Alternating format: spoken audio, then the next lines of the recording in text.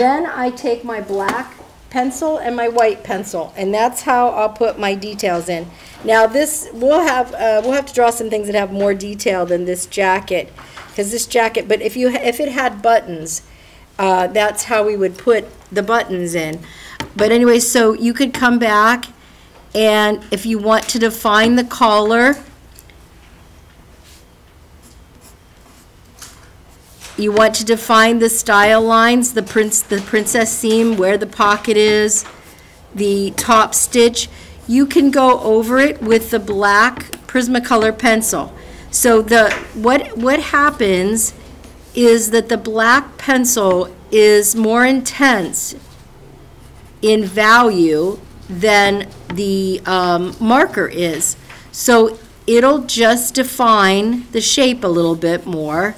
So I go back, you can even define your, um, like, so where we see these wiggly lines in her, you can go back with the black marker, or the black pencil, and you can define those wiggly lines a little bit.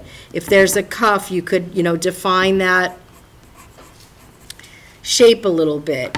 Um, if there is top stitch, okay, so if I really want that opening to show up, a little white pencil.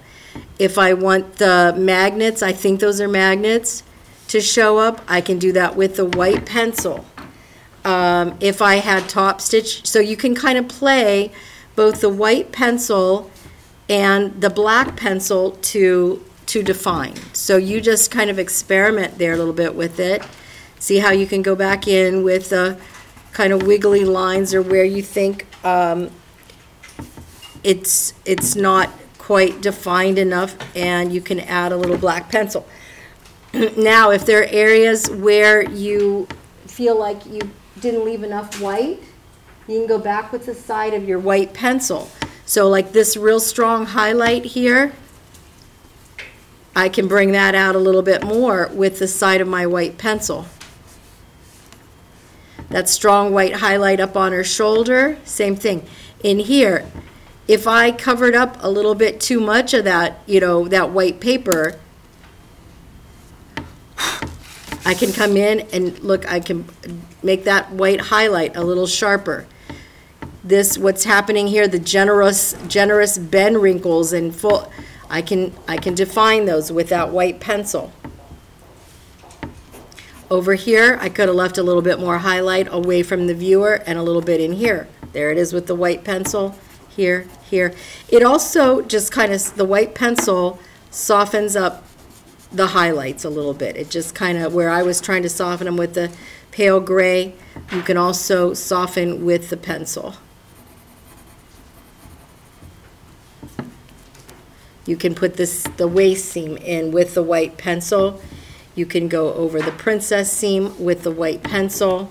And then if there were any top stitch, and see how that defined a little bit more. And I think that's it. Maybe just a little bit up here in the collar area. And that is our first leather drawing. All right, so do you want, do you need a minute to catch up, or do you want to, are you ready to go on to the rib?